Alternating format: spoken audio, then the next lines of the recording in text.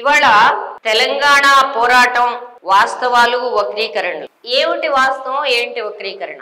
మొదట వక్రీకరణ ఏంటో చూద్దాం. సెప్టెంబర్ మొదలు కాగానే మొదలవుతుంది ఈ జాతర.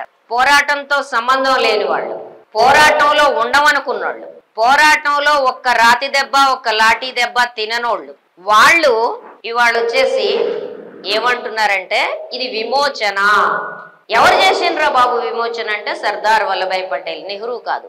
తెలంగాణ ప్రాంతంలో ఆ కాలంలో పోలీసు చర్య పోలీస్ యాక్షన్ నెహ్రూ సైన్యాలు మిలిటరీ యాక్షన్ ఈ పదాలన్నీ వాడారు కానీ విమోచన అనే పదాన్ని ఆనాటి వల్లభాయ్ పటేల్ కూడా వాళ్ళ వల్లభాయ్ పటేల్ని కూడా ఎవ్వరూ ఆయన జీవిత చరిత్రతో సహా ఆయన్ని తెలంగాణ విముక్తి ప్రదాతగా వాళ్ళు వర్ణించల.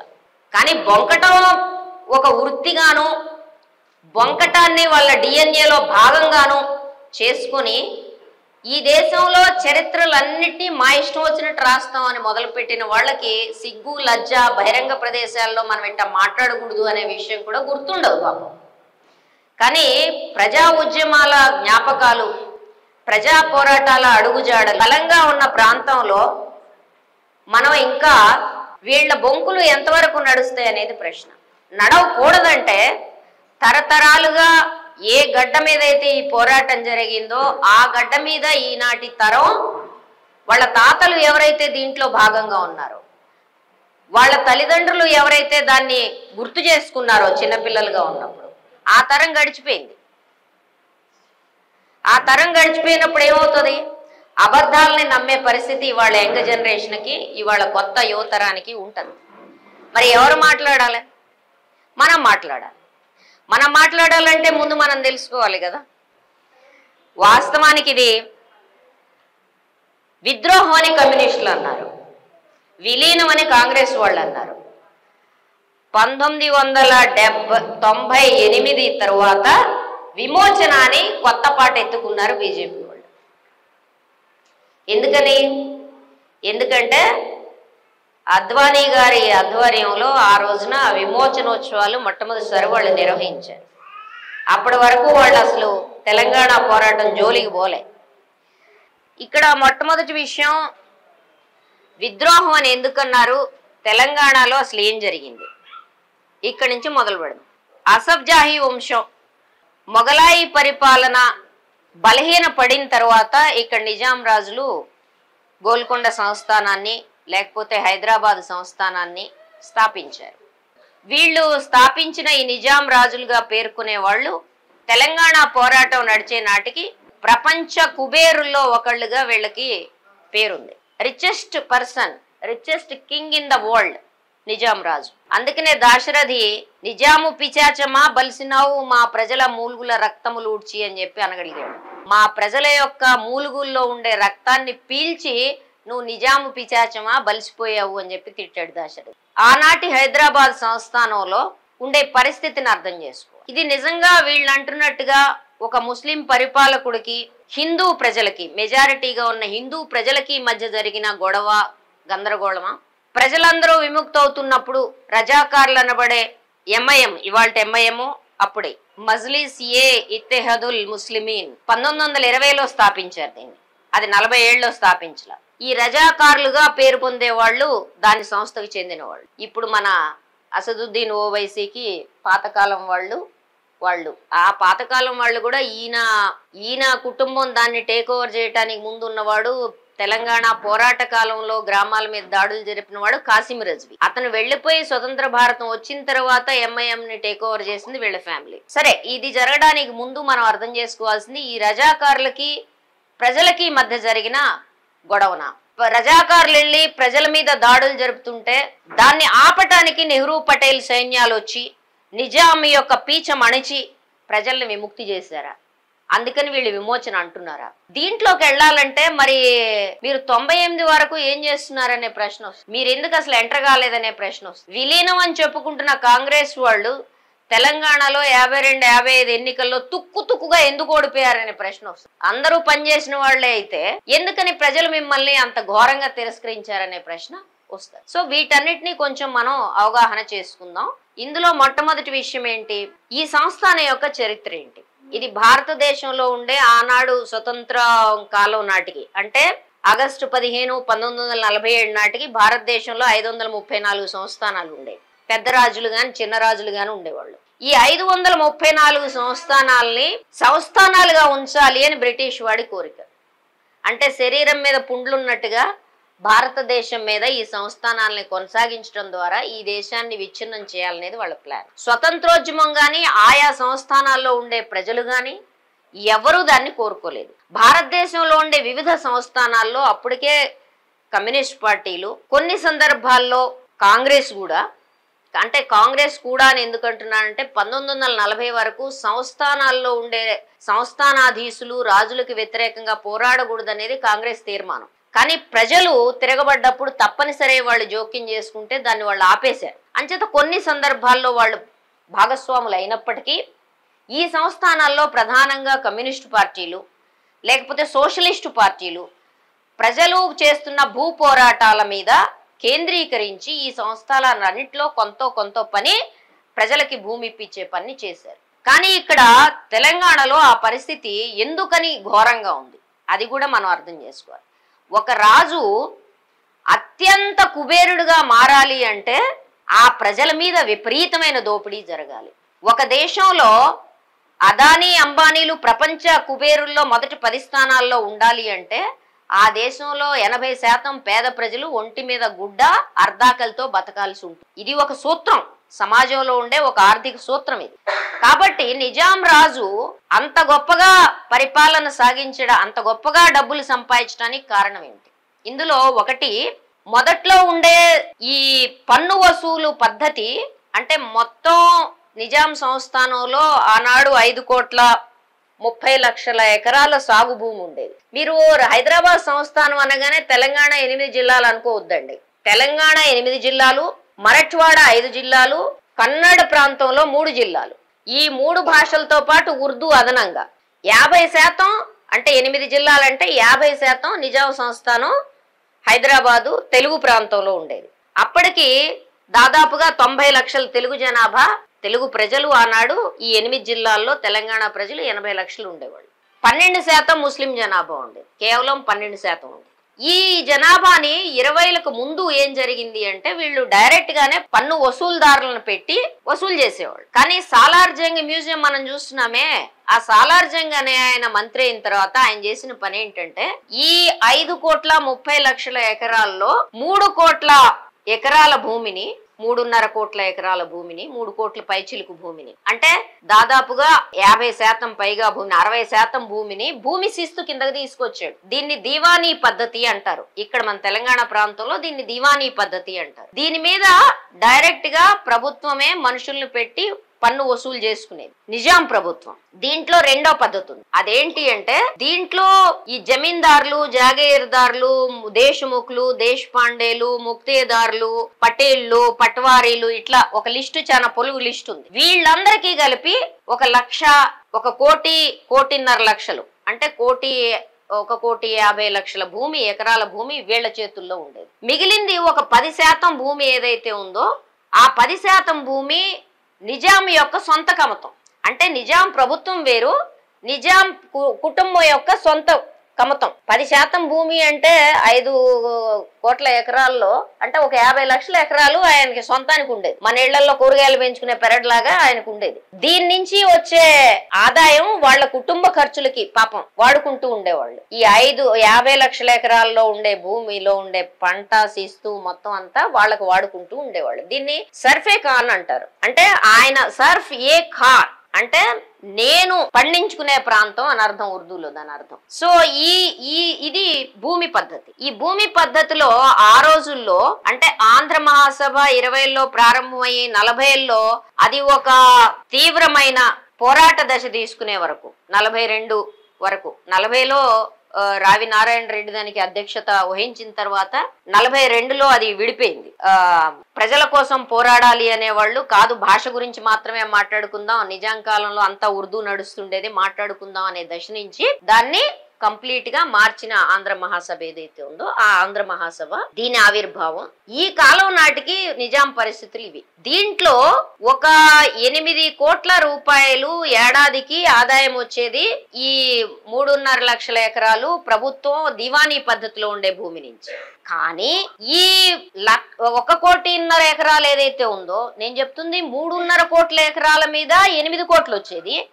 కానీ జమీందారులు జాగీర్దారుల పరిపాలనలో ఉన్న దాంట్లో ఎంత ఉంది కేవలం కోటిన్నర ఎకరాలే ఉంది. కానీ కోటిన్నర ఎకరాల్లో ఐదు కోట్ల ముప్పై లక్షల ఆదాయం వాళ్ళు తీసుకునేవారు అంటే మీరు చూడండి నీకు రెట్టింపున్న భూముల్లో ఇక్కడ ఒక్క విషయం మనం గుర్తుపెట్టుకోవాల్సింది ఇంత ఇంత ఆదాయం కూడా ఏదైతే వాళ్ళు వసూలు చేశారో ఇందులో సకల జనులు సకల వృత్తుల వాళ్ళు చేసే వెట్టి అంటే ఫ్రీ లేబర్ వచ్చేది కాదు. ఆ కాలంలో బాబాసాహెబ్ పేట జమీందారు దొర ఆయన ఎక్సైజ్ మొత్తాన్ని కాంట్రాక్ట్ తీసుకున్నాడు నిజాం రైట్స్ తీసుకున్నాడు. దానికి వచ్చే ఆదాయం ఎంత ఉండేది? ఇదొక భాగం.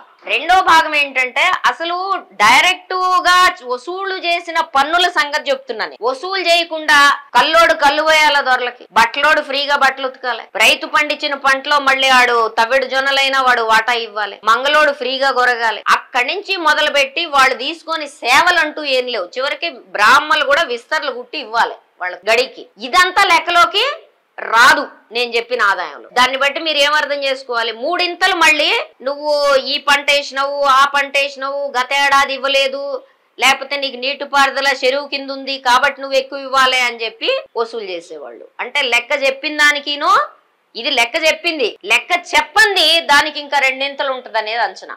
సుందరయ్య గారు తెలంగాణ పోరాటంలో ఆయన రాసిన పుస్తకంలో చాలా స్పష్టంగా చెబుతాడు. లెక్క చెప్పండి దీనికి రెండింతలు ఉంటది అని అంటే జనాన్ని ఎంత పీడించారో మీరు అర్థం చేసు సరే ఇక్కడ రెండో ప్రశ్న వస్తుంది. అందరూ కలిపి భూమి నిజాందైనప్పుడు మరి జమీందారులు జాగీర్దారుల దగ్గర భూమి ఎట్లొచ్చింది? వీళ్ళకి ఎప్పుడైతే దివానీ పద్ధతి ప్రవేశపెట్టారో అప్పుడు ఈ పన్ను వసూలు చేసిన నిజాంకి నమ్మకస్తులైన వాళ్ళందరికీ పెన్షన్ పద్ధతి పెట్టారు. పాపం వీళ్ళు ఎట్ట బతకాలని. అయితే ఇది పెట్టడానికి ముందే పంతొమ్మిది వందల ఇరవైలోను ఇరవై రెండులోను ప్రపంచంలో ఆర్థిక సంక్షోభం వచ్చి మళ్ళీ పంతొమ్మిది వందల ఇరవై తొమ్మిది నుంచి ముప్పై రెండు వరకు ఆర్థిక సంక్షోభం వచ్చి ఈ కాలంలో అసలు సామాన్య జనం బతకలేని పరిస్థితి ఏర్పడింది. దానికి తోడు కరువు కాలాలు వచ్చాయి. వచ్చేసరికి ఏ రైతులైతే పన్నులు కట్టలేదో వాళ్ళ సారవంతమైన భూములన్నింటినీ ఈ భూస్వాములు దేశముఖులు దేశపాండేలు వీళ్ళందరికీ వెనకాల బిరుదులు దేశముఖులు దేశపాండేలు అని వీళ్ళు చాలా అనాయాసంగా దాన్ని తిన్నారు. ఇక్కడ మీకు ఒక లిస్టు నేను చెప్తాను. ఎందుకంటే వీళ్ళకి ఎంత భూములు ఉన్నాయి అనేది కావాలంటే మీరు రాసుకోండి. విష్ణూరు దేశముఖ్ ఈయన జనగాం ప్రాంతం. ఈ విష్ణూరు దేశముఖే దొడ్డి కొమరయ్య మరణానికి వీడి కొడుకు బాబురావే దొడ్డి కొమరయ్య మరణానికి కారణమయ్యాడు. విష్ణూరు దేశముఖ్ నలభై గ్రామాలు నలభై వేల ఎకరాలు సొంతం.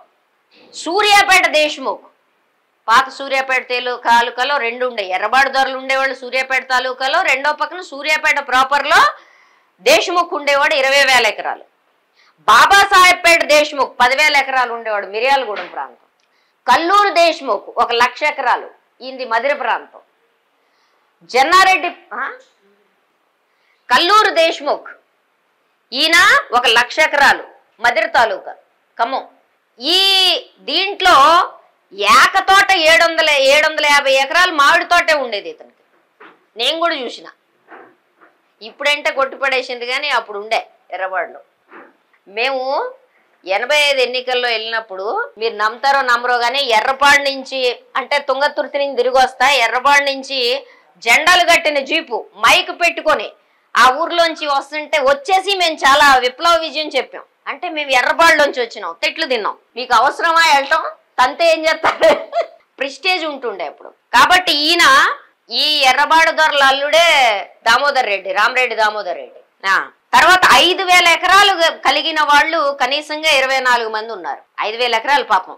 తక్కువ. పేదోళ్ళు అనమాట పదివేల పైన ఎకరాలు కలిగిన వాళ్ళు పన్నెండు మంది ఉన్నారు. లక్సెట్పేట నర్సాపూర్ సంస్థానం లాంటి సంస్థానాల్లో మళ్ళీ లక్ష ఎకరాల పైన భూమి వీళ్ళ దగ్గర ఉండేది. అంటే మొత్తం కోటిన్నర లక్షల కోటిన్నర ఎకరాలు కోటిన్నర ఎకరాల లెక్క చెప్తే ఇందులో మనం మొత్తం లెక్క ఇక్కడ మదిరి తాలూకా మొదలు పెడితే అక్కడ ఆదిలాబాద్ అడవుల వరకు ఆ గిరిజన ప్రాంతాల వరకు వీళ్ళ లెక్కల డొక్కలు ఇట్లా ఉన్నాయి.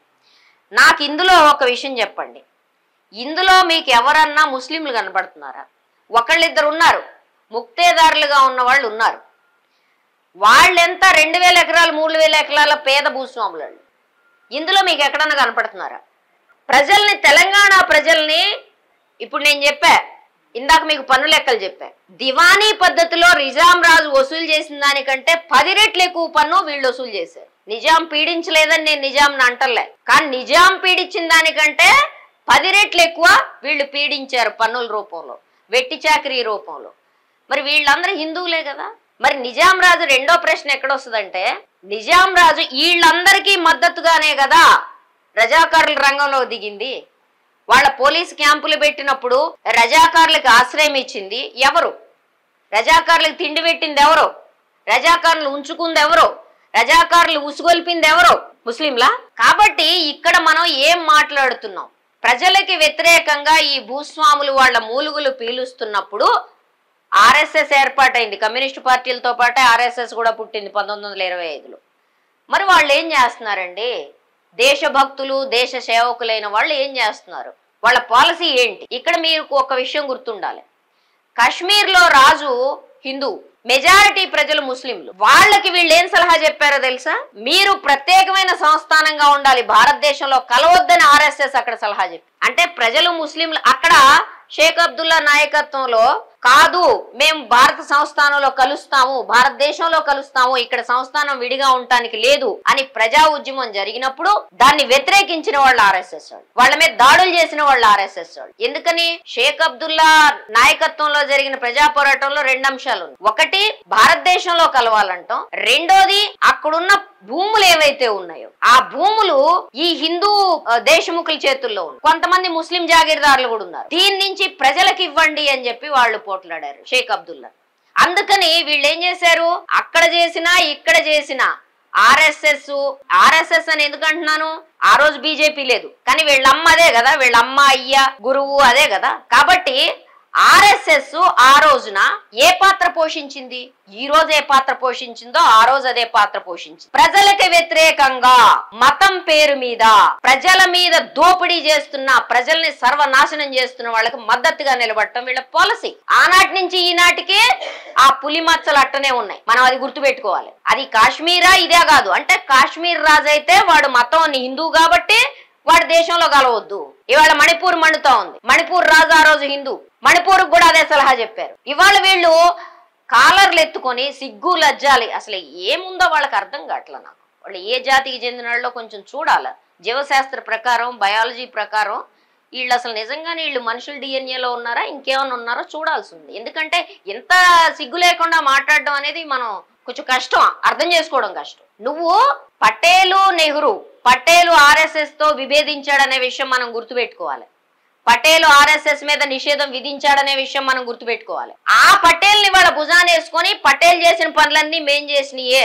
మోటు భాషలో చెప్పాలంటే వద్దులే చెప్పదు కాబట్టి ఇక్కడ రెండు అంశాలు. నలభై వరకు సంస్థానాధీశుల మీద పోట్లాడడానికి నిరాకరించిన కాంగ్రెసు. కాంగ్రెస్ చేసిన పనేంటి? స్వతంత్రోద్యమం బలోపేతం అవుతున్నప్పుడు ఇక్కడ జెండాలు ఎగరేయడము అక్కడ అక్కడ స్వతంత్రోద్యమం జరగాలని కోరుకోవడము అలాంటి పనులు చేసి అరెస్ట్ అయిన వాళ్ళు ఉన్నారు కాంగ్రెస్ నుంచి. మాడపాటి హనుమంతరావు నుంచి వీళ్ళందరూ చేసిన వాళ్ళు ఉన్నారు. కానీ నిజానికి ప్రజల పక్కన నిలబడ్డారా? అది ప్రశ్న. ఇక్కడ మనం వద్దాం మళ్ళీ దీంట్లోకి వద్దాం. ఈ ప్రజా పోరాటం ఏమన్నా వీళ్ళు చెప్పే దాంట్లో దుర్మార్గమైన విషయం ఏంటంటే కమ్యూనిస్టులు రజాకారులు కలిపి ప్రజల మీద దాడి చేస్తుంటే పటేలు సైన్యాలు వచ్చి విమోచన చేయి అది వాళ్ళు చెప్పేది. కొంచెం కాస్త సిగ్గుబిళ్ళు ఉన్నవాళ్ళేమో అదేం కాదులే కానీ అని అంటున్నారు సన్నాయి నొక్కుల్లో వాళ్ళల్లో. కొంచెం తీవ్రంగా మాట్లాడగలిగిన వాళ్ళు అంటే అబద్ధాన్ని విరపు లేకుండా మాట్లాడగలిగిన వాళ్ళేమో ఈ మాట అంటున్నారు. సో ఇక్కడ ప్రశ్న వస్తుంది. కమ్యూనిస్టులు నిజంగానే ప్రజల మీద దాడులకు తెగబడితే రజాకారులను తరిమి కొట్టారు కదా మొత్తం తెలంగాణ అది కమ్యూనిస్టులు రాసిందా లేకపోతే కాంగ్రెస్ వాళ్ళు రాసిందా లేకపోతే నిజాం వాళ్ళు రాసిందా లేకపోతే ఇంగ్లీషు చరిత్రకారులు వచ్చి రాసిందా? చాలా పుస్తకాలు ఉన్నాయి తెలంగాణ పోరాటం ఇక్కడికి సంబంధం లేని వాళ్ళు వచ్చి రీసెర్చ్ చేశారు. ఏ పుస్తకంలోనైనా ఎక్కడైనా కమ్యూనిస్టులకి వ్యతిరేకంగా ప్రజలు మాట్లాడింది కానీ వాళ్ళని మాకు రావద్దని చెప్పిన ఘటన కానీ ఎక్కడన్నా ఉందా మొత్తం తెలంగాణలో? ఆ వాళ్ళ సంగతి వదిలేయండి. ఇవాళకి కూడా లేదు. ఏంటంటే ఆ జ్ఞాపకాలు అంత తొందరగా చెదిరిపోవు. తెలంగాణ మొత్తం కమ్యూనిస్టు కేడర్లుగా మారి మెరికల్లా తయారైన యోధుల రక్తంతో తడిసింది. ఆ రక్తం అంత తొందరగా ఆరిపోదు. కాబట్టి వక్రీకరణ చేయటం అన్నట ఎంత భయంకరంగా చేస్తున్నారో మీరు అర్థం చేసుకోండి. రజాకారుల్ని కమ్యూనిస్టులని ఒక ఘాటన కట్టి అచ్చా రజాకారులు కమ్యూనిస్టులు మరి నిజంగానే ప్రజల మీద దాడులు చేస్తుంటే దేశభక్త ఆర్ఎస్ఎస్ ఏం చేస్తుంది? రావచ్చు కదా? బరిలో దిగి పోరాడొచ్చు కదా? ప్రజల్ని కాపాడొచ్చు కదా? హిందూ ప్రజల్ని ఎందుకు రాలే? ఆర్ఎస్ఎస్ రాలేదు కాంగ్రెస్ రాలేదు కాబట్టి ఆనాడు హిందూ జన సామాన్యాన్ని ముస్లిం పరిపాలకుల నుంచి కాపాడుతామని దానికి మతపరమైన రంగు పులివింది ఎవరన్నా ఉన్నారంటే ఆర్య సమాజ్. స్వామి రామానంద తీర్థ నాయకత్వంలో వాళ్ళు దీంట్లో పార్టిసిపేట్ చేశారు. కానీ రామానంద తీర్థతో సహా ఆర్ఎస్ఎస్ వాళ్ళ మొత్తాన్ని ప్రజల యొక్క సుడిగుండం ఎంత గొప్పగా ఉంటుందంటే నువ్వు ఏ ఉద్దేశంతో రా ఒక్కసారి సుడిగుండం మొదలైనాక అందులో నువ్వు తిరగటమే ఉంటుంది. రామానంద తీర్థతో సహా ఆర్య సమాజ్ కూడా ప్రజా పోరాటం అనే సుడిగుండంలో పడి వాళ్ళు తిరిగారు తప్ప మతతత్వ ఎజెండాని తీసుకురాలేకపోయారు. అది దీని విశిష్టత ఈ పోరాటం యొక్క విశిష్టత ఊడ్చుకుంటా పోయింది ఉప్పెన లెక్క. వరదొస్తే ఊడ్చుకుంటా పోతే చూడు ఓ దాంట్లో కొట్టుకుపోవటమే ఉంటుంది ఎవడైనా సరే. అట్లా ఉప్పెనలా వచ్చిన ప్రజా పోరాటం ఎందుకు వచ్చింది ఇది? నిజాముకి వ్యతిరేకంగా మాత్రమే వచ్చిందా? నిజాముకి వ్యతిరేకంగా ఉన్నారు ప్రజలు. ఆంధ్ర మహాసభ ఏర్పడిందే ఉర్దూ భాష మా నెత్తిన రొద్దొద్దని ఏర్పడింది. కానీ దానికంటే ఎక్కువగా మీరు మొత్తం ప్రజా సాహిత్యంలో చూస్తే ఎవర్రా అంటే ఈ నేను చెప్పిన లిస్ట్ ఉందే? వీళ్ళకి వ్యతిరేకంగా వీళ్ళకి స్టార్టింగే అక్కడి నుంచి స్టార్ట్ అయింది. ఎక్కడైతే అణిచివేత విపరీతంగా ఉందో ఎక్కడైతే మీరు నరసింహరావు గారి దాసి గుర్రం బళ్ళకి ఎదురుగా నిలబెట్టి పరిగెత్తించడం కచ్చడాల ముందు పరిగెత్తించడం ఒక భాగం. కొత్త కోడలు వస్తే గడికి పంపమంటం ఒక భాగం. కానీ ఇళ్ళల్లో ఆడపిల్లల్ని దాసీలుగా తమ బిడ్డలతో పాటు పెళ్ళికి ఇచ్చి పంపించడం వాళ్ళని ఆ ఆమె యొక్క భర్త ఎట్లంటే దొర అట్లంటే వాడుకోవడం అనేది మనం దాసి చిత్రంలో చూస్తాం. చింతపల్లి గడిలో తీసారు అది. కాబట్టి ఇటువంటి ఆచారాలు ఏవైతే ఉన్నాయో వీటన్నిటికీ వ్యతిరేకం. మీకు విష్ణువురు దేశముఖు ఆ కాలంలో నలభైలో రెండు లక్షలు పెట్టి బిల్డింగ్ కట్టాడు. ఈ రెండు లక్షల బిల్డింగ్కి మూడు రోజుల బాలింత నేను రాలేను అంటే ఆమె రొమ్ముల్ని పట్టకారు పెట్టి లాగాడు కాబట్టి మామూలు విషయం కాదు ఇది. దీనికి వ్యతిరేకంగా ప్రజలు తిరగబడ్డారు. అందుకనే నైజాము సర్కరోడ్ని తి- తిట్టినా గాని స్థానికంగా ఉండే ప్రజల్లో ఈ హిందూ భూస్వాములకి వ్యతిరేకంగా జమీందార్లు దేశ్ముఖులు దేశ్ పాండేలు వీళ్ళకి వ్యతిరేకంగా ఉంది. పటేలు పట్వారీలు నీకు అండ చేరారు పోలీస్ పటేళ్ళు మాలీ పటేళ్ళు లేకపోతే రజాకారులు నిజాం సైన్యం నీకు అండ చేరారని తిట్టారు తప్ప నువ్వే కారణం అని తిట్ల వాళ్ళకి ప్రత్యక్షమైన ఈ దోపిడీలో కనపడద్దు ఎవరు? వీళ్ళు. ప్రజలకి నువ్వు ఏ మతం అనేది ఆ టైంలో కౌంట్కి రాదు. ఆ టైంలో గుర్తొచ్చేదేంటి?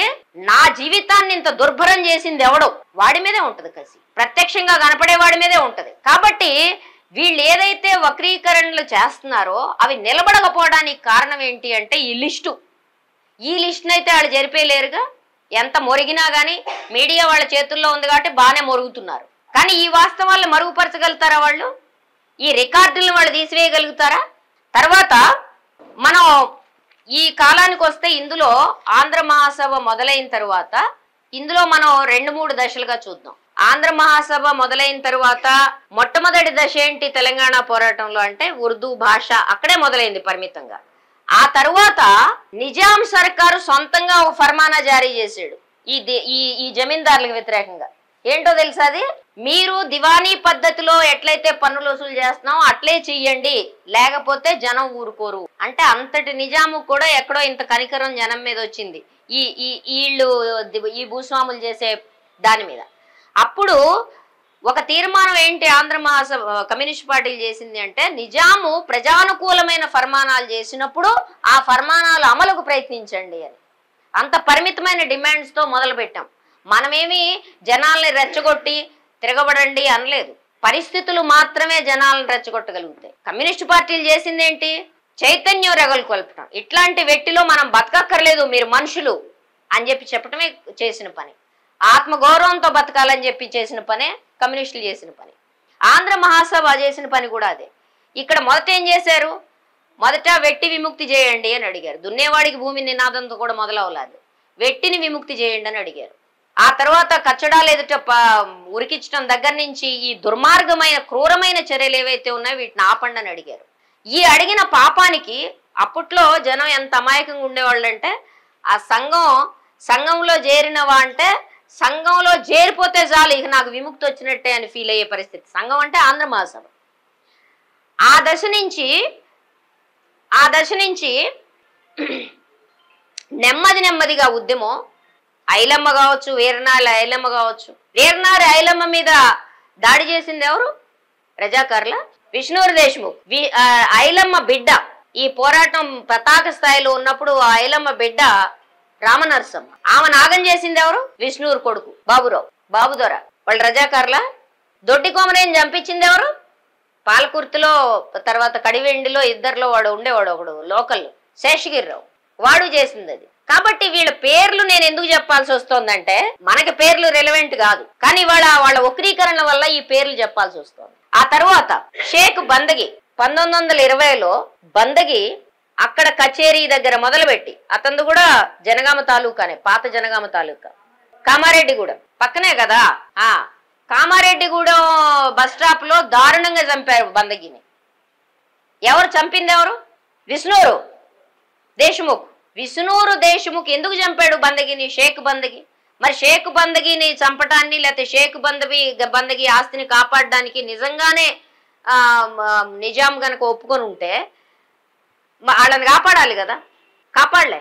షేక్ బందగి తన భూమి కోసం మరణించాడు. విష్ణూరు దేశముఖి వ్యతిరేకంగా మరణించాడు. బందగి సమాధిని అక్కడ ఉండే స్థానిక ప్రజలు మతంతో సంబంధం లేకుండా విష్ణూరు దేశముఖి వ్యతిరేకంగా అక్కడ నిర్మించారు. ఆ రోజునే నిర్మించారు. షేక్ బందగి సమాధిని దర్శించుకొని ఆ, గెరిల్లా దళాలు ముందుకు పోతా ఉండేవి. ఎందుకంటే ఆ పోరాటానికి నాంది పలికిన వాడు షేక్ బందగి అని చెప్పి. మరి షేక్ బందగి హిందువు కాదే? షేక్ బంధు బందగిని చంపింది రజాకారులు కాదే లేకపోతే కాపాడింది నిజాం కాదే.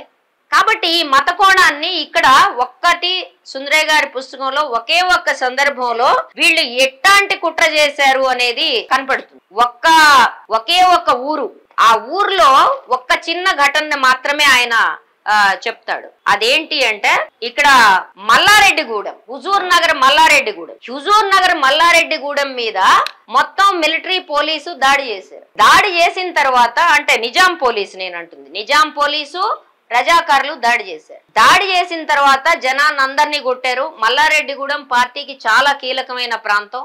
అప్పటికి జనం దగ్గర బందూకులు లేవు దళాల నిర్మాణం కూడా కాలేదు. మొత్తం ఇళ్ళ మీద రాళ్ళు పెట్టుకొని ఒడిసెల్లో పెట్టుకొని చేయగలిగినంత ప్రతిఘటన చేశారు.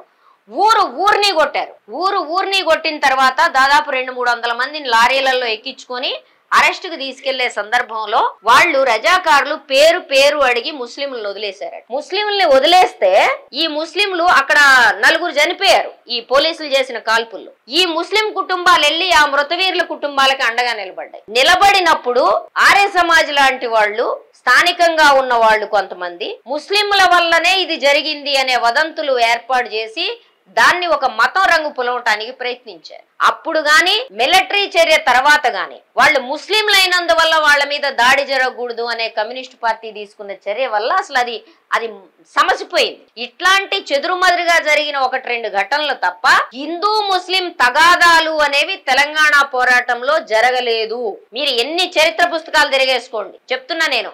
కమ్యూనిస్టులు రాసినవి కాదు కాంగ్రెస్ వాళ్ళు రాసినవి తిరిగేసుకోండి. ఇప్పుడు బీజేపీ వాళ్ళు అప్పుడు రాసిన వాటిల్లో ఉండదు బహుశా ఇప్పుడు రాసిన వాటిల్లో వాళ్ళు మొదలు పెడతారు. కాబట్టి ఇక్కడ ఇంకొక విషయం కూడా మనం పెట్టుకోవాలి. ఆనాడు మొత్తం బాలెంల మల్లాలరెడ్డి పాత సూర్యాపేట దేవరుప్పల కడిగండి మల్లారెడ్డిగూడెం వీటిలన్నిటి మీద పెట్టి చాకరీ దగ్గర నుంచి వీటన్నిటికీ సంఘం అండ మీద వాళ్ళు అడ్డం పడినప్పుడు మొట్టమొదటి జారులు నైజాం పోలీస్ నుంచే జరిగినాయి ఎందుకంటే నలభై ఆరులో మొదలైంది. నలభై ఆరు నుంచి స్వతంత్రం వచ్చే వరకు జరిగిన ఘర్షణ మొత్తం మొత్తం దేశముఖులకి జమీందారులకి జాగీరదారులకి చివరికి వాళ్ళ గడీల్ని బగలగొట్టడం వరకు జరిగిన ఘర్షణ మొత్తం అప్పుడు జరిగింది. నలభై ఏడు తర్వాత మీకు ఇక్కడ ఒక విషయం చెప్పాలి. స్వతంత్రం వచ్చింది కదా? మరి సంస్థానంలో ప్రజల్ని కాపాడడానికి స్వతంత్ర భారత ప్రభుత్వం ఏం చేసింది? వాళ్ళకి తెలియదా అప్పటికే న్యూస్లు వస్తున్నాయి కదా? కాంగ్రెస్ వాళ్ళు ఇక్కడ ఉన్నారు కదా? వాళ్ళ అధిష్టాన వర్గానికి చెప్పలేదా?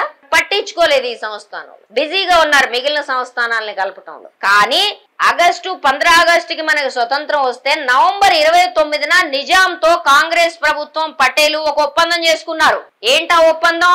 యథాస్థితి కొనసాగిస్తాం అని చెప్పి. నలభై ఏడు నుంచి నలభై ఎనిమిది సెప్టెంబర్ వరకు అంటే దాదాపు ఒక సంవత్సరం పాటు నిజాంని కాంగ్రెస్ పటేల్ ప్రభుత్వం ఆమోదించింది. ఈ కాలంలో పదిహేను వందల మంది కమ్యూనిస్ట్ పార్టీ కార్యకర్తలను పట్టణ పెట్టుకున్నారు వీళ్ళు. దాదాపుగా పన్నెండు వందల యాభై మంది మహిళల మీద అత్యాచారాలు జరిగినాయి. కారణం ఎవరు? ఏ పటేల్ గురించి అయితే వీళ్ళు చెప్తున్నారో వాళ్ళు కళ్ళు మూసుకోవడం కారణం కదా? నిజంగా వాళ్ళు జనాన్ని విముక్తి చేయదలుచుకుంటే స్వతంత్రం వచ్చింది కాబట్టి స్వతంత్ర భారత ప్రభుత్వం ఏం చేస్తుందో చూద్దాం. కొంచెం వెనక్కి తగ్గండి అని కమ్యూనిస్ట్ పార్టీ ఆ కాలంలో గమ్మునుండండి కొంతకాలం అని చెప్పింది. ఆ గమ్మునున్న కాలంలో మామూలు అకృత్యాలకు వీళ్ళు పాల్పడరు ప్రతి ముప్పై ఏళ్ళకి మిలిటరీ క్యాంప్ పెట్టారు. దొరికిన వాళ్ళని దొరికినట్టు సంఘం సభ్యుల్ని వాళ్ళు పెట్టిన చిత్రహింసలకు అంతులేదు. గ్రామాల గ్రామాలు దాడులు చేశారు తగలబెట్టారు లూటీ చేశారు. వాళ్ళు చేయని అకృత్యం లేదు ఈ కాలం. మరి ఈ కాలంలో ఆర్ఎస్ఎస్ లేకపోతే కాంగ్రెస్ ఏం చేస్తున్నారు? ఈ ప్రజలను కాపాడడానికి ఈ మహిళలను కాపాడడానికి మీరు ఏం చేశారు? ఏం చేయలేం. కానీ పరిస్థితి ఎప్పుడైతే ప్రజలు ఏం చేశారంటే అప్పుడు కుదరే కుదరదు. ఇట్లా గనక అయితే ఎవరైతే భూస్వాములు రజాకారులు ఉన్నారో వీళ్ళు మళ్ళీ దాళ్ళకు దిగుతున్నారు. మేము ఊకుండము అని జనం ప్రతిఘటన మొదలు పెట్టారు ప్రతిఘటన మొదలు పెట్టడం కాదు విస్తరించింది ఇది. విస్తరించేటప్పటికి అప్పుడు కమ్యూనిస్ట్ పార్టీ జనం ఒత్తిడి మేరకు అవును మనం ప్రతిఘటించాలనే నిర్ణయానికి వచ్చింది. మీరు తీర్మానాలు చూస్తే కమ్యూనిస్ట్ పార్టీ తీర్మానాల్లో స్పష్టంగా కనపడుతుంది. జనం బంధువుకు పట్టిన తర్వాతే మేము పట్టాల్సి వచ్చింది. స్పష్టంగా చెప్తారు ఆ విషయం. అంటే వాళ్ళని జనం కమ్యూనిస్ట్ పార్టీలు రెచ్చగొట్ల. వాళ్ళ అవసరం కొద్దీ జనం తిరగబడాలనుకున్నప్పుడు సరే మీతో పాటు మేము ప్రాణాలు అర్పిస్తాం ఉన్నారు కమ్యూనిస్ట్. వాళ్ళు ఎవరి మీద తిరగబడ్డారు? తిరగబడిన ఘటన వచ్చిన తర్వాత అస్సలు నిజాం సంస్థానాన్ని ఇట్లే గనక వదిలేస్తే ప్రపంచంలోనే సుసంపన్నమైన ఈ నిజాం సంస్థానం ఏదైతే ఉందో ఇది కమ్యూనిస్టుల పరమైతే దేశం మట్టం మధ్యలో ఉన్నది. దీని ప్రభావాలు మిగిలిన సంస్థానాల మీద దేశం మీద పడితే అసలు కమ్యూనిస్టుల దేశంలో చేతిలోకి మొత్తం సామాన్య ప్రజానీకం వెళ్ళే అవకాశం ఉంది అని కన్ఫర్మేషన్ అయిన తర్వాత మాత్రమే నెహ్రూ పటేల్ సైన్యాలు దాడికి దిగినాయి. ఆపరేషన్ పోలో పేరు మీద. ఇది ప్రజల్ని కాపాడడానికి కాదు ప్రజలు గుంజుకున్న భూముల్ని తిరిగి భూస్వాముల వశం చేయటానికి ప్రజల పక్షాన్ని నిలబడిన కమ్యూనిస్టుల్ని ఆ కమ్యూనిస్టులతో ఉన్న ప్రజల్ని నాశనం చేయటానికి పోలీస్ చర్య జరిగింది తప్ప ఇది విమోచన కాదు విలీనము కాదు. ఇది విద్రోహం. ఎవరికి విద్రోహం? తెలంగాణ ప్రజలకు విద్రోహం. ఈ విద్రోహంలో మౌనంగా ఉండి కాంగ్రెస్ వాళ్ళు చాలా యాక్టివ్ పార్ట్ పెట్టుకొని నిజాంతో కలిసి వచ్చారు. ఇక్కడ ఇంకోటి కూడా చెప్పాలి. పటేల్ గురించి ఇంత గొప్పలు చెబుతున్నారు కదా వీళ్ళు? పోలీస్ చర్య జరిగింది కదా నలభై ఎనిమిది సెప్టెంబర్లో జరిగినప్పుడు వీళ్ళు చేసిన పని ఏంటి? మొట్టమొదటి పని? ఏ నిజాముకు వ్యతిరేకంగా విమోచనని వీళ్ళు కూస్తున్నారో అదే నిజాంని యాభై రెండులో మళ్ళీ రాజ్యాంగం అమల్లోకి వచ్చే వరకు రాజ ప్రముఖ కింద నియమించి రాజ ప్రముఖ కింద నియమించింది. మరి నువ్వు విముక్తి కదా? నువ్వు చెప్పిన ప్రకారం విమోచన కదా? పీక పడేయాలిగా? ఎందుకు పీకలే? ఎందుకు నీ సంకనెక్కించుకుని ముద్దు పెట్టుకున్నావు? ముద్దు పెట్టుకోవడం ఏ లెవెల్లో పెట్టుకున్నారో కూడా చెప్తా మీకు. సర్ఫే కాన్ భూములు స్వాధీనం చేసుకుందని వీళ్ళు గొప్పలు పోతారు. సర్ఫే కాన్ భూములు స్వాధీనం చేసుకున్న దానికి పూర్తి నష్టపరిహారం చెల్లించారు ఏడాదికి డెబ్బై లక్షల రూపాయలు నష్టపరిహారం ఇచ్చారు. అది కాకుండా అంటే సర్ఫే ఖాన్ భూముల మీద ఈయన కోల్పోయాడు కదా ఇచ్చారు. అది కాకుండా రాజభరణం కింద పెన్షన్ కింద డెబ్బై లక్షల రూపాయలు ఇచ్చారు. డెబ్బై లక్షలు ఇవాళ లెక్కలో రెండు ఎకరాల పొలం మూడు ఎకరాల పొలం కావచ్చు. కానీ ఆనాడు ఏ నాడైతే నీకు కిలో బియ్యం బస్తా ఐదు రూపాయలు ఉందో ఆ కాలం లెక్క చెప్తున్నా నేను. ఒక బస్తా బియ్యం ఐదు రూపాయలు ఉన్న కాలంలో నువ్వు డెబ్బై లక్షల రూపాయలు రాజభరణం కింద ఇచ్చావంటే ఏంటి అవసరం? నువ్వు విమోచన చేస్తే ఈ ఈ ప్రాంత ప్రజల్ని నువ్వు చెప్పినట్టు హిందువుల్నే నువ్వు విమోచన చేస్తే నిజా నైజాం సర్కార్ని పటేలు ఎందుకని రాజప్రముఖుడి కింద కొనసాగించాడు నాలుగేళ్ళ పాటు? చెప్పండి నాకు కారణం. చెప్పండి మీరు చెప్తున్న గొప్పలో మీ విమోచనల సంగతి ఏంటో తేలుద్దాం ఇవాళ. ఈ ఈ సొమ్ము ఎవరిది? ఈ భూమి ఎవరిది? ప్రజల్ది. మిలిటరీ సైన్యాలు వచ్చినాయి. వచ్చిన తర్వాత చేసింది ఏంటి? నువ్వు రజాకారుల్ని రజాకారుల మీద దాడి చేసినవా సైన్యం? అదే రజాకారుల్ని వెంట పెట్టుకొని అదే పటేల్ పట్వారీలను వెంట పెట్టుకొని అదే భూస్వాముల్ని వెంట పెట్టుకొని పోలీస్ క్యాంపు మిలిటరీ క్యాంప్ పెట్టారు. అందుకనే ఆనాడు ప్రజలు నీ రంగులు తెలిసినయ్యో అయ్యో అసలు రంగయ్య అని రంగారెడ్డి మీద ఆనాడి ప్రముఖ కాంగ్రెస్ నాయకుడు ఎవరి పేరు మీద అయితే ఇవాళ రంగారెడ్డి జిల్లా ఉందో ఆయన మీద నీ రంగులు తెలిసినయ్యో అయ్యో రంగులు మారి రంగయ్యో అని జనాలు పాటలు పాడుకున్న పరిస్థితి అంటే పోలీసు మిలిటరీ రెండు బలవంతుల అనుకోని నువ్వు పల్లెలు దోస్తివి కొడకు. ఇది ఎక్కడి నుంచి వచ్చింది? Police military. పోలీస్ అంటే నిజాం పోలీస్. మిలిటరీ అంటే ఎవరిది? పటేల్ సైన్యం పటేల్ నెహ్రూ సైన్యాలు. వీటిని ప్రజలు ఆదరించారా? నీ పోలీసు చర్య యొక్క ఫలితం ఏంటి అంటే జనం నేను తుక్కు తుక్కు ఓడించిర్రు తర్వాత. రావినారాయణ రెడ్డి గారికి వచ్చిన ఓట్లు నెహ్రూ గారికి వచ్చిన ఓట్ల కంటే ఎక్కువ. అసలు దేశంలోనే మెజారిటీ వచ్చింది రావినారాయణ రెడ్డి గారికి. కాబట్టి ప్రజల యొక్క తిరస్కారము స్వీకారము ఏ దశలో ఉన్నాయో దాన్ని బట్టన్నా నీకు అర్థం కావట్లేదా? దీన్ని జనం ఎట్లా పరిగణించారు? జనం ఆయుధం పట్టారు. జనం చాలా స్పష్టంగా చెప్పారు. మిలిటరీ వాళ్ళు వీళ్ళందరినీ ఎంటబెట్టుకుని వస్తున్నారు. ఈ సందర్భంలో మీకు మిలిటరీ క్యాంపులు పెట్టడం ఒకటే కాదు. నిజాము రజాకారులతో జరిగిన పోరాటంలో పదిహేను వందల మంది కార్యకర్తలు అమరులై అమరులైతే మన కామ్రేడ్స్. పోలీసు మిలిటరీ చర్య జరిగిన తరువాత ఇరవై ఐదు వందల మంది మరణించి నిలబెట్టి కాల్చి చంపారు ఇరవై ఐదు మందిని.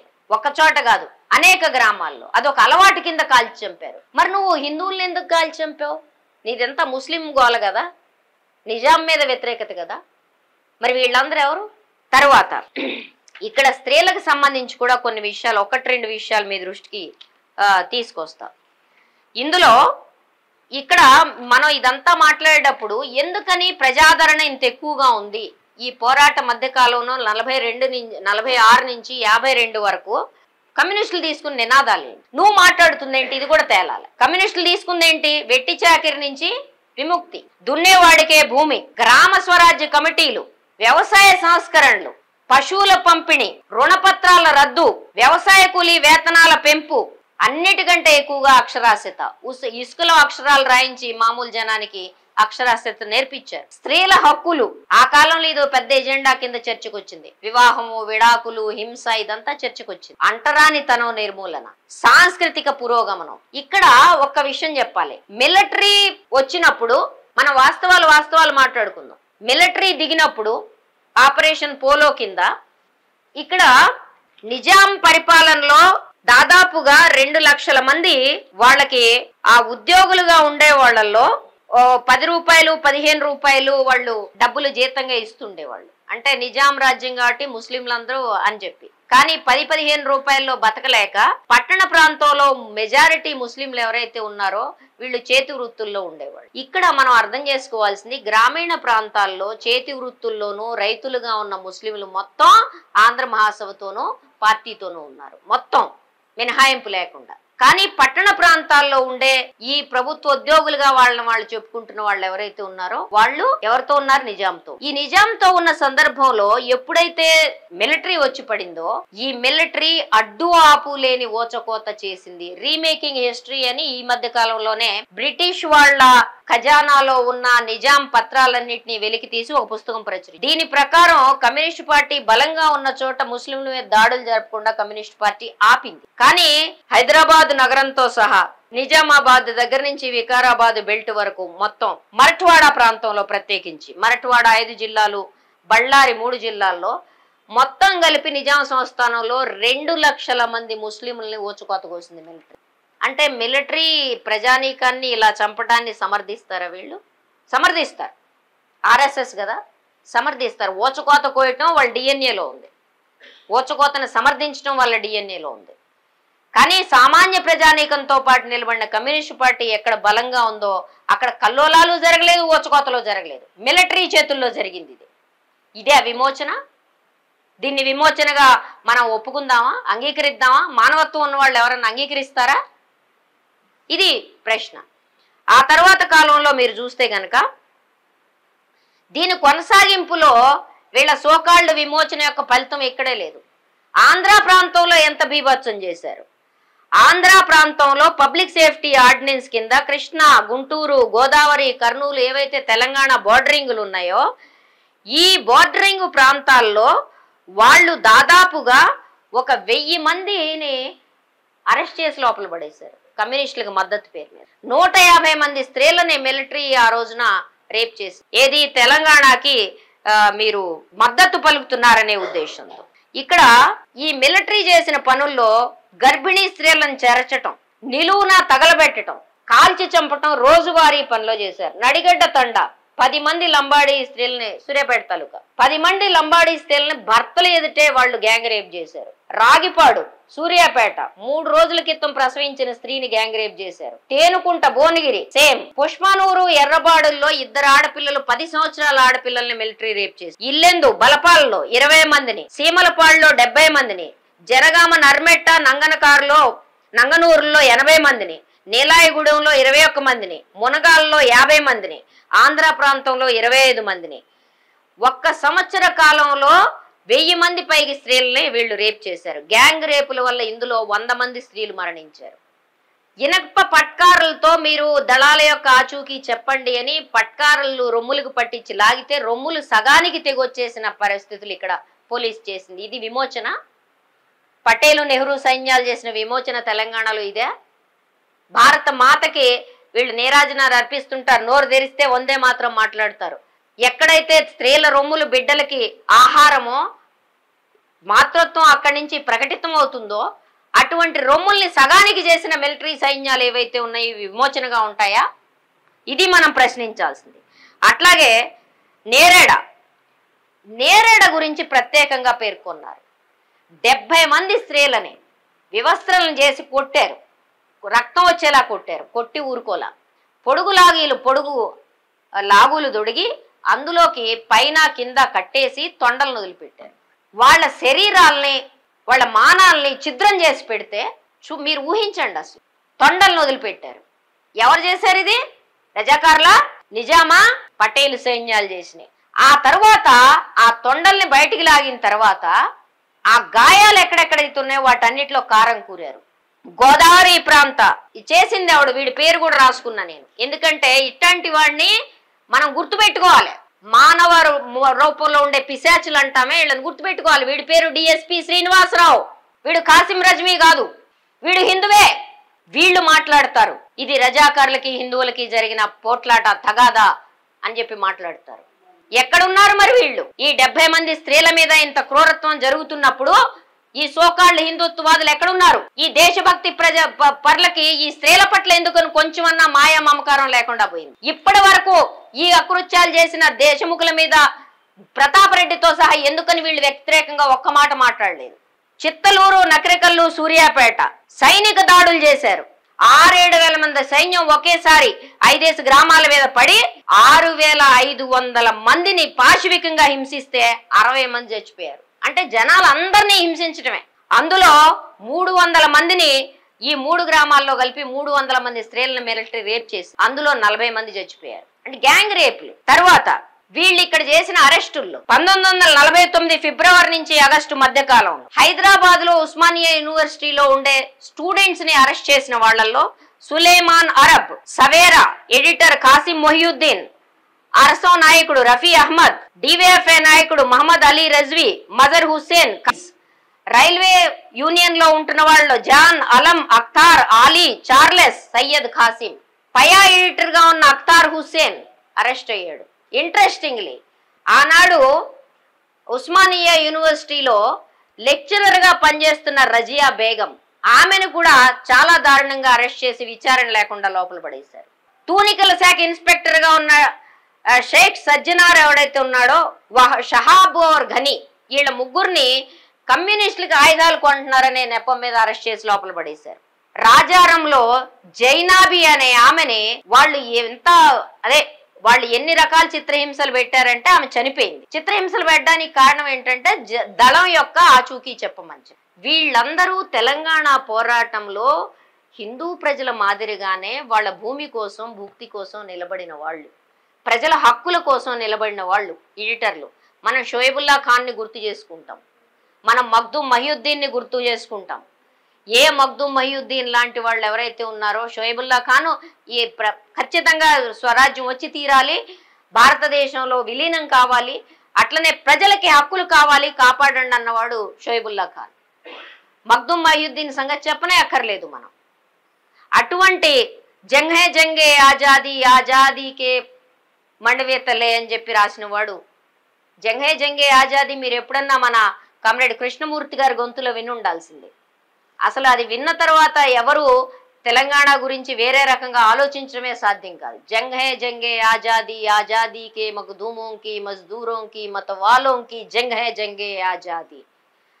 దేశంలో భూమికి ప్రజలకి స్వతంత్రం లేని యుద్ధం ఎట్లాంటి యుద్ధం? స్వరాజ్యం ఎట్లాంటి స్వరాజ్యం అని అడగగలిగాడు మహబూదు మహియుద్దీన్. స్వరాజ్యానికి స్వతంత్ర పోరాటానికి ముందే అడగగలిగాడు.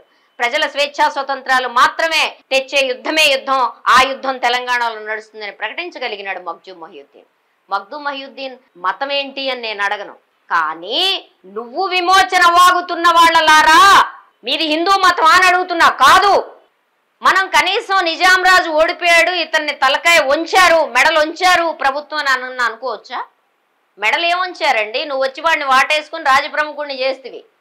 వాడి చేతిలోనే పగ్గాలు పెడితివి. ఈ భూస్వాములు భూ జమీందారులు నీ మిలిటరీ అండ చూసుకుని మళ్ళీ గ్రామాల్లోకి పోయి జనం మీద పడి చంపటము చెరచటము చిత్రహింసలు పెట్టడము సామూహికంగా చేస్తిరి. మరి నువ్వు చేసింది ఏంటి అక్కడ? నీ సైన్యం చేసింది ఏంటి? నువ్వు చేసిన విమోచన ఏంటి? అంటే జనాన్ని చిత్రహింసలు పెట్టడం రేపులు చేయటమే నువ్వు చెప్తున్న విమోచన? ఎక్కడైనా కానీ చరిత్రలో మాడిన పదాల్లో merger annexation police action attack military operation Nizam surrender end of Asaf Jahi rule అని మాట్లాడారు తప్ప దీంట్లో సరోజినీ నాయుడు కొడుకు జయసూర్య ఉండేవాడు డాక్టర్ జయసూర్య. అతను కూడా నలభై ఎనిమిదిలో యాభై రెండులో కూడా అతను ఏం చెప్పాడంటే ఇవి ఆక్రమిత సైన్యాలు అన్నాడు. అతనేమి కమ్యూనిస్టుల సానుభూతి పరుడు కాదు. కానీ కాంగ్రెస్ యొక్క అత్యుత్తమ నాయకుల్లో ఒకళ్ళైన వాళ్ళ అబ్బాయి కూడా ఈ విధంగా మాట్లాడాడు. ఆనాటి మిలిటరీ యాక్షన్ మీద పుస్తకం రాసిన the story of integration of Indian states దాంట్లో డెబ్బై పేజీలు విపి మీనన్ ఇతను సెక్రటరీగా ఉన్నాడు పటేల్. అతను రాసిన దాంట్లో డెబ్బై పేజీలు హైదరాబాద్ కేటాయిస్తే అందులో అటాక్ యాక్షన్ మార్చ్ అన్నాడు తప్ప విమోచన అని ఎక్కడ అనలా. అంటే ఎవ్వరూ దీన్ని విమోచనగా చూడలా. ఏ చరిత్రకారుడు లేకపోతే ప్రత్యక్షంగా పోలీసు చర్యలో భాగస్వాములుగా ఆర్డర్స్ జారీ చేయడంలో ఉన్న వాళ్ళు ఎవరూ చూడరా. Jayaprakash Narayan the Hyderabad problem and the next step అనే పుస్తకంలో కూడా ఆయన ఈ పదాన్ని పేర్కొనలా. అట్లాగే నలభై తొమ్మిదిలో ఇండియాస్ పోలీస్ యాక్షన్ అగెనెస్ట్ హైదరాబాద్లో కూడా డాక్టర్ జయసూరి ఈ మాట అనలా. తర్వాత స్వామి రామానంద తీర్థ ఆత్మకథ రాశాడు. స్వామి రామానంద తీర్థ ఆర్ సమాజ్ వాడు. ఆయన కూడా విమోచన అనలే ఆయన ప్రత్యక్షంగా ఆ, జనంతో పాటు నిలబడ్డవాడు. వాట్ ఎవర్ ఈ సెటెండ్ అని ప్రజలు భావించలేదు. ఈ వేచుకోత మిలిటరీ చేసిన ఊచకోతలో సైన్యం కూడా భాగస్వాములుగా ఉన్నారు. ముస్లిం స్త్రీల మీద కూడా సైన్యం రేప్ చేసింది. కేవలం హిందూ స్త్రీల మీదే కాదు. కాబట్టి ఇక్కడ మనం అర్థం చేసుకోవాల్సింది ఏంటి? వీళ్ళు చెప్తున్న వర్గీకరణలో ఎక్కడైనా ప్రజల విమోచన ఉందా? ఎక్కడైనా మతం సంగతి పక్కన పెడదాం. మీరు చెప్తున్న విమోచన ఎక్కడైనా ఉందా? నిజాం నుంచి విముక్తి చేసావా రజాకారుల నుంచి విముక్తి చేసావా ప్రశాంతంగా కాసిం రజ్వి పోయి వాడు పోయి అక్కడ ఉన్నాడు. కాసిం రజ్వి ఎట్లా అయితే ఎర్రకోట మీద నిజాం జెండా ఎగరేస్తానన్నాడో ఆర్ఎస్ఎస్ కూడా మేము స్వతంత్రాన్ని అంగీకరించము. మేము ఎర్రకోట మీద కాషాయ జెండా ఎగరేస్తాం అని చెప్పి మొన్న రెండు వేల మూడు వరకు వాళ్ళు జెండానే ఎగరేయలేదు వాళ్ళ కార్యాలయం మీద. వీళ్ళు విమోచన గురించి మాట్లాడతారా? దెయ్యాలు వేదాలు వల్లించడం అనే సామెత ఊరికే రాలే. వీళ్ళని చూసే వచ్చి ఉంటుంది. కాబట్టి మిత్రులారా మనం అర్థం చేసుకోవాల్సింది అసలు తెలంగాణ సాయుధ పోరాటానికి దారితీసిన పరిస్థితులేంటి? ఎవరి మధ్య ఈ గొడవ నడిచింది? ఈ కొట్లాటని ప్రజలు ఎంత తీసుకున్నారు? దీంట్లో కమ్యూనిస్టు దాన్ని ఆ బలిదానాల్ని ఖాతరు చేయకుండా ప్రజా ఉద్యమాలని ప్రజలు సాధించుకున్న భూముల్ని గుంజుకోవడం కోసం నైజాం రజాకారులతో పోలి ప- నెహ్రూ పటేలు ప్రభుత్వాలు జాయిన్ అయ్యి ప్రజల మీద జరిపిన దాడిగా దీన్ని చూశారు కాబట్టి కమ్యూనిస్టులు దీన్ని విద్రోహం అన్నారు. తప్ప ముమ్మాటికి విద్రోహమే. ప్రజలు ఆక్రమించుకున్న భూముల్ని వాళ్ళ చేతుల్లోంచి గుంజుకొని ఏం చేసినావు నువ్వు? అంటే ప్రజలకు వ్యతిరేకంగా నిలబడటమా? నువ్వు చెప్పే విమోచన విలీనము. కాబట్టి ప్రజా హక్కుల్ని కాలు రాశారు కాబట్టే నువ్వు కమ్యూనిస్టులను చంపావు కాబట్టి విద్రోహం అనలే. కమ్యూనిస్టులను చంపితే వాళ్ళు చేసిన త్యాగం అంటాం. ఎందుకంటే కమ్యూనిస్టులు వాలంటీర్గా స్వచ్ఛందంగా నా ప్రాణాలు పోతాయని తెలిసే వచ్చారు ఉద్యమంలో. ఏది ఏమైనా అమీతుమీ తీల్చుకోవాలనే వచ్చారు కమ్యూనిస్ట్ పార్టీ కార్యకర్తలు ఆ రోజు. నిజాం మీద పోరాటానికి భూస్వాముల మీద పోరాటానికి ఆ తర్వాత వీళ్ళకి వత్తాసుగా వచ్చిన పటేల్ సైన్యాల మీద పోరాడటానికి దాన్ని అనరు. కానీ ప్రజానీకం ప్రజానీకం నిన్ను విద్రోహంగా పాటిస్తే ప్రజానీకం యొక్క హక్కుల్ని వాళ్ళ చేతిలోంచి తీసేస్తే వాళ్ళ భుక్తికి అవసరమైన ఆధారమైన భూమిని వాళ్ళ చేతుల్లోంచి లేకుండా చేయటానికి నువ్వు కారణమైతే దీన్ని మనం అసలు ఏ దశలో అయినా విమోచన అనగలుగుతామా? ఆ తర్వాత కాలంలో అప్రతిహతంగా వాళ్ళకి వెన్నుదన్నులుగా నిలబడిన వాళ్ళు వీళ్ళు కాదా? ఇవాళకి భూస్వాములకి భూస్వామి విలువలకి ఆడవాళ్ళని ఎట్లా అణిచుంచాలన్న దగ్గర నుంచి కుల వివక్షత ఎట్లా పాటించాలనే వరకు అన్నదమ్ములుగా నిలబడుతున్న వాళ్ళు తెలంగాణ ప్రజలకు మాత్రమే ద్రోహం చేశారా? మొత్తం దేశంలో ఉండే సామాన్య జనం మొత్తానికి ద్రోహం చేశారు. ఖచ్చితంగా ఆర్ఎస్ఎస్ బీజేపీ ఈ దేశంలో సామాన్య జనుల యొక్క విద్రోహుల యొక్క సంఘం విద్రోహుల యొక్క పార్టీ. విమోచన గురించి విముక్తి గురించి ఆ పదాలు ఉచ్చరించే హక్కు కూడా వాళ్ళకి లేదు. చాలా స్పష్టమైన విషయం మనం తెలంగాణ పోరాట క్రమాన్ని మరింత లోతుగాను ఖచ్చితంగాను అర్థం చేసుకోవాలి. ఇట్లాంటి తిక్క తిక్క వాగుళ్ళు పిచ్చ పిచ్చ వాగుళ్ళు ముఖ్యంగా వక్రీకరణలు పెట్టుకొని దాని నుంచి ఎలక్షన్ కాలంలో లాభపడదాం అనుకునే ఈ గుండుగాళ్ళు బండగాళ్ళు ఈ బండ విధవులందరినీ పక్కన పెట్టేయాల్సిన అవసరం ఉంది. వాళ్ళందరి మీదకి మన స్ఫూర్తి కొనసాగాల్సిందేమిటి? ప్రజలు ప్రజల యొక్క హక్కులు ప్రజాస్వామ్యము మన గ్రామాలకి సంబంధించి మహిళలకు సంబంధించిన భద్రత కుల వివక్షత పోవడము ఏవైతే ఆ కాలంలో డెబ్బై ఐదేళ్ళ క్రితం ఇచ్చిన నినాదం ఉందో అదే ఇవాళ కూడా కొనసాగాల్సిన అవసరం ఉంది. ఎందుకంటే ఆ హక్కులు రానంత కాలం ఆ హక్కులకు సంబంధించిన పోరాటాన్ని కొనసాగించాల్సి ఆ పోరాటాన్ని కొనసాగించగలిగిన వాళ్ళకే తెలంగాణ సాయుధ పోరాటం యొక్క వారసులుగా చెప్పుకొని దాని గురించి మాట్లాడే హక్కు ఉంటది. ఆ రోజు పోయి వాళ్ళ ఇళ్ళలో తలలు దాచుకొని వీపులు భద్రం పెట్టుకున్న వాళ్ళెవ్వరికీ కూడా దాని గురించి మాట్లాడే హక్కు గాని అర్హత గాని లేదు. ఇది మనం చాలా స్పష్టంగా జనం మధ్య చెప్పాలి. ఈ వచ్చే తరాలకు కూడా అర్థమయ్యేలా చెప్పాల్సిన అవసరం ఉంది కామ్రేడ్స్. థ్యాంక్